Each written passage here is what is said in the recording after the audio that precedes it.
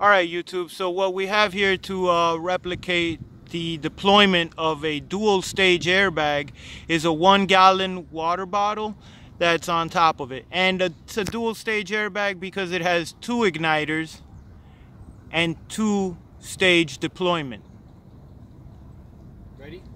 Ready. Three, two, one.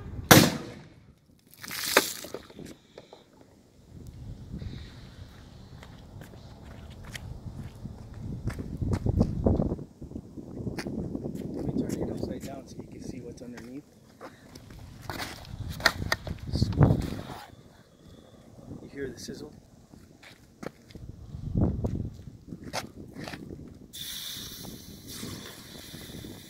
And let's see what it did with our